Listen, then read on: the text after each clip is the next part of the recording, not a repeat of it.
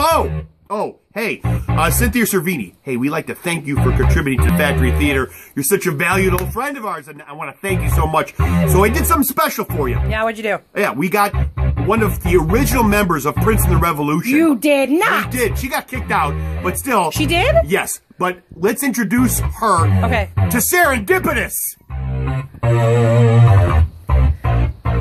Wow, that. What do they call that? Waving. Oh, so who who who replaced you? Was it Vanity?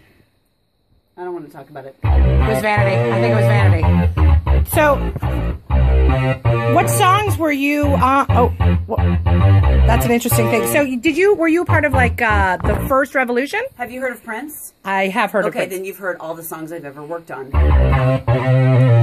Is Serendipitous your real name, or was that a stage name that he gave you? Um, I think it's my real name. Tell me what Little Red Corvette's about. Well, it's um, when I had a very important moment in my life. Yeah. And I don't want to talk about it. This is the worst interview that I've ever. No, no, it's me. Keep going. Serendipitous. Are you performing anywhere that we can see you now? Besides, Well, I'm performing right now. Yeah, you should And I'm perform right performing on YouTube, and I'm performing at my mother's 75th birthday party. did you write this little riff?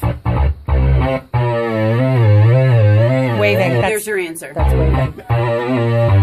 So, um, th- Oh! thank you, thank you, thank you. Thank you, Cynthia Cervini.